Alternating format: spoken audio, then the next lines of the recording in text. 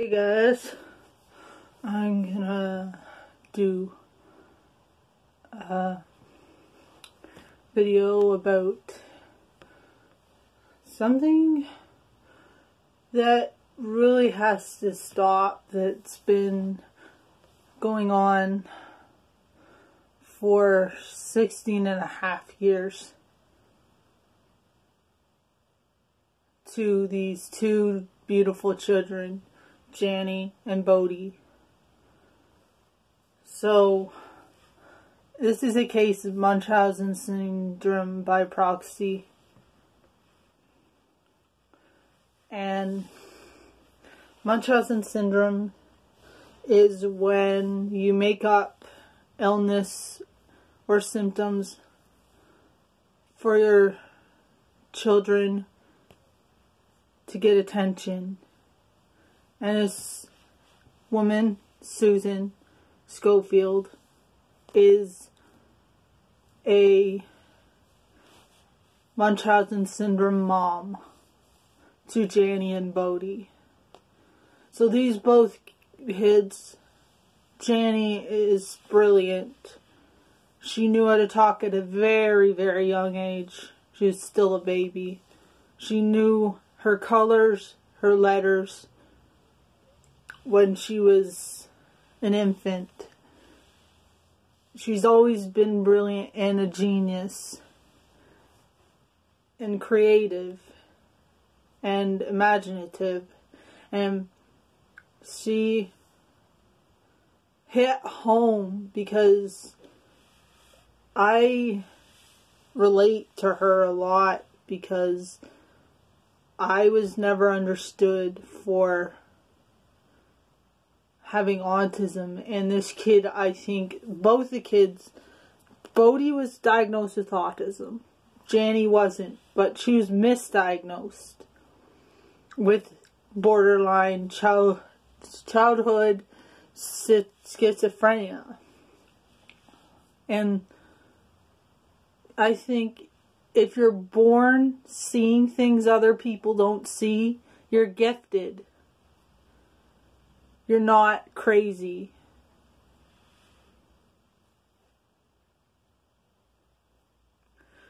She's obviously on a spectrum of autism. She's on the higher end of the spectrum.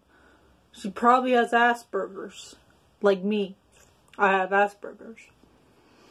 She does this and claps a lot, and that's called stimming, and stimming, and that is part a, a huge part of autism. And I know tons of people with schizophrenia and they don't do that. They don't act like she does. They don't talk like she does. You can tell she's got autism spectrum disorder. And she seen things other people couldn't see and no one understood that. They thought she was crazy. She she would be put in mental wards at young age, drugged out of her mind, and she still is. She has poison in her body because her mom keeps giving her this poisonous meg- medicine. It's not medicine, it's acid. It's rotting her brain cells. She's dying, but not as fast as Bodhi is. Bodhi is dying really quickly. I can see him dying in the next few years. He's having seizures constantly, and that kills you. They don't tell that he's having seizures. They just think he's that he's ignoring them or I'm sure part of it is annoying, ignoring because the mom, her, his mom is like so annoying. She's bossy. She's demanding. She is ignorant, stupid, and loud, and abusive. They blamed Michael, their dad, for molesting the children. But he's trying to save his children. Susan is the one that molested them. They both complained about their butt hurting at a young age. They both did. And that, I think, shows that they were molested in their in their in their uh, butt their butt and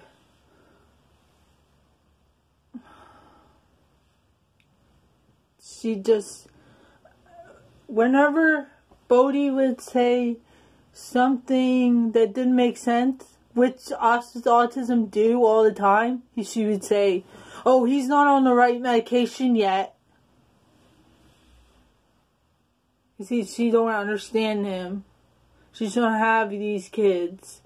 And she fights the government to get these strong drugs for she argue with the government for them to drug her child. Jenny has her own world called Calalini. How do you say something like Calalini sounds real to me like it's another universe, another plane that she goes to to escape her mother and now her stepfather who also believe molest the children. Her one time Bodhi said, I like pink jello and was doing his hand flap like autism people do. I do that when I get excited. And she's like, we don't have him on the right medication yet. And every, she embarrassed them. She's always, one time, there was this creepy guy, homeless guy, and Jenny was on her period.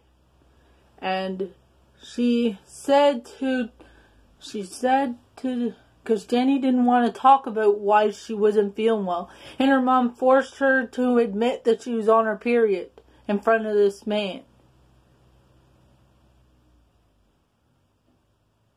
She's done more than that.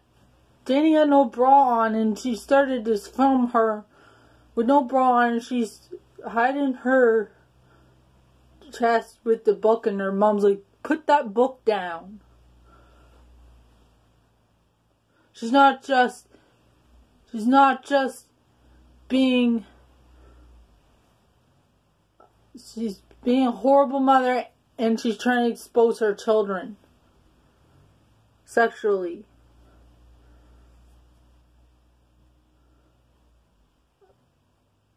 I can see ghosts. I see spirits. They scare me. I not I'm not, I don't like having this gift.